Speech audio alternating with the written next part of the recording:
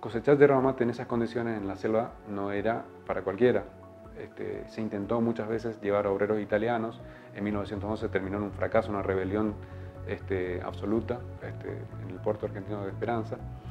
Y eh, ahí, digamos, con la yerba mate entonces implica un saber hacer cultural, que es cosechar, secar, procesar y trasladarla en condiciones inhumanas prácticamente por, digamos, a, fuerza humana, atracción humana, digamos, ni siquiera atracción animal, las bolsas de yerba, 10, 20, 30 kilómetros hasta los lugares donde se este, embarcaban.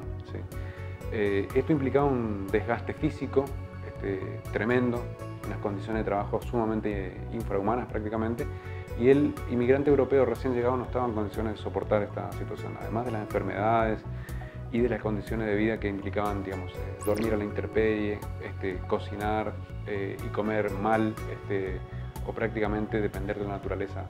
Esa situación entonces es saber hacer cultural y esa condición de adaptación que el obrero europeo no tiene y es justamente el paraguayo, este, sí, digamos, el, trabajador paraguayo, criollo, digamos, correntino, misionero, caboclo, digamos, llamado así despectivamente Brasil, es el que tiene este saber hacer cultural que tiene que ver con una historia también, que remite a los periodos coloniales, jesuíticos y que además eh, implicaba también un conocimiento de los recursos. saber hacer, cosechar yerba mate, digamos, implicaba también distinguir cuáles eran hojas de yerba y cuáles no. Los mercados de contratación de mano de obra están en su mayoría concentrados en posadas y en encarnación. Entonces el control de esos lugares de contratación le permitía a la empresa Barte competir con ventaja con su rival este, Mate Laranjeira. Si nosotros nos centramos solamente en la dimensión de la explotación de la mano de obra, vamos a perder de vista eh, otra faceta del personaje Domingo Barte, que tenía que ver con eh, su lugar dentro de la elite local. Eh, como dije, acá había una sociedad pequeña que se reconocía como par entre sí y eso eh, nos lleva a otra dimensión que tiene que ver con la fundación de clubes, donación de eh, espacios donde se construyeron bibliotecas. La misma catedral de la ciudad Posada fue construida con una donación de Domingo Barte. Y eh, una característica distintiva de esta élite local en relación a la élite central, este, digamos que, era ausentista en su práctica totalidad. La élite local invierte en infraestructura, en obras. Un resultado de esto, por ejemplo, el famoso hotel mal llamado Savoy, porque en realidad no se inauguró con ese nombre, digamos, Domingo Barte. Se lo conocía como el France Hotel, ¿sí? y después se lo cambió, este, digamos, de France Hotel eh, a Palace Hotel, eh, y después sus herederos son los que venden a esta famosa cadena de hoteles Savoy que, hasta el día de hoy existe. Eh, eso por nombrar algunas cuestiones que tienen que ver con eh, las marcas simbólicas de ese poder este, en, la, ciudad, en la, localidad en ese momento. Era también un poder simbólico que dijimos que tenía necesariamente su correlato en el, digamos, poder, en el saber cultural. O sea, los libros, las bibliotecas, los clubes, eh, digamos, exclusivos para obreros, este, implicaban también estos lugares de reunión. Eh, en esos lugares, los hombres de la elite se encontraban, tomaban un café, dialogaban entre sí, este, firmaban alianzas, acuerdos.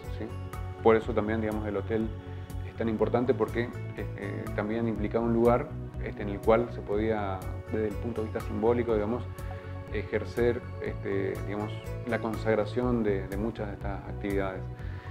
Eh, ahí también tenemos que ver que una cuestión importantísima es que la elite local invierte en infraestructura como por ejemplo los primeros astilleros donde se fabricaron barcos este, que navegaron en el Alto Paraná. La mayoría de los barcos Domingo Barte tenían los nombres de sus hijas y de sus hijos. Eh, y la mayoría de estos fueron construidos en sus propios astilleros que estaban funcionando en Posada en ese momento. Y además hay otro elemento que tiene que ver con este, la constitución, digamos, de los barrios obreros. Justamente durante muchísimo tiempo la zona del puerto y la zona aledaña, que después fue conocida como Villa Bloset, eh, porque eran, digamos, dos hermanos franceses que habían sido presidentes del Consejo Municipal en, a principios del siglo, digamos, 1900, y que estaban fuertemente vinculados también a la vida de los obrajes de los, de los puertos del Alto Paraná, que también tenían en, Brasil eh, su explotación yerbatera. Todo esto nos muestra también este, una complejidad eh, inmensa, porque, eh, entre otras cosas, la mirada, digamos, del capitalista que especula únicamente no se ajusta, digamos, a esta, clase, a este grupo de la local, sino que es una clase capitalista que también invierte y que vive y reside en el lugar. Más allá de que Domingo Barte podemos decir, bueno, siempre se habrá sentido francés porque vuelve cuando estalle la guerra a su país de origen, lo que está claro es que había un afincamiento y un sentido de pertenencia que estaba patente.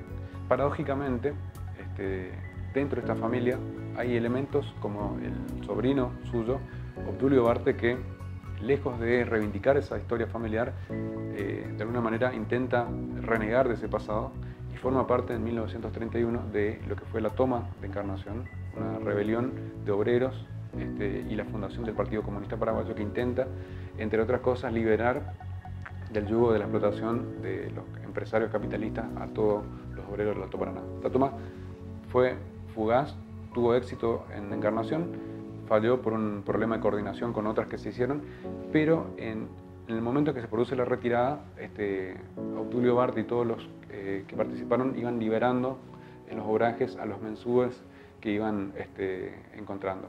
Es el mundo de los obrajes, podemos decir que es una etapa que no se cerró, este, que sigue vigente, digamos, y que las marcas de ese pasado siguen estando en el presente y que nos siguen interpelando cotidianamente.